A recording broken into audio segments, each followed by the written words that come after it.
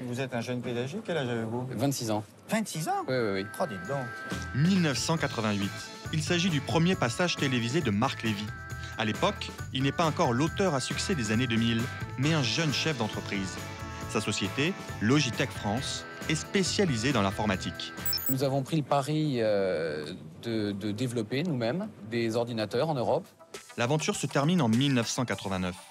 Deux ans plus tard, il fonde un cabinet d'architecture. Mais sa vraie passion, c'est l'écriture.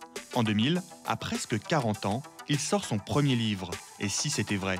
Avant même sa parution, les droits d'adaptation sont achetés par Steven Spielberg.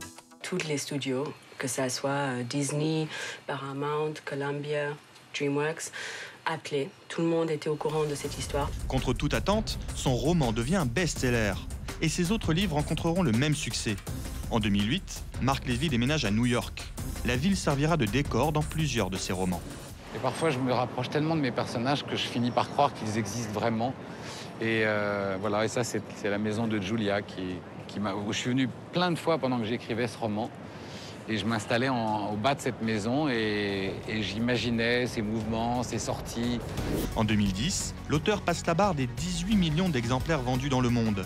Cette même année, son 11e livre paraît, Le voleur d'ombre. La recette reste la même, une bonne intrigue, une dose de surnaturel et une écriture cinématographique. À la fin, les lecteurs sont conquis. Marc Lévy, ça passe de, de, de la simplicité à l'extraordinaire, au fantastique, et ça nous permet en même temps, par une simple lecture, de, de se créer un monde tout à fait euh, extraordinaire. Aujourd'hui, Marc Lévy est l'auteur français vivant le plus lu dans le monde. En 20 ans, il a vendu plus de 50 millions d'exemplaires, traduits en 49 langues. Thank you.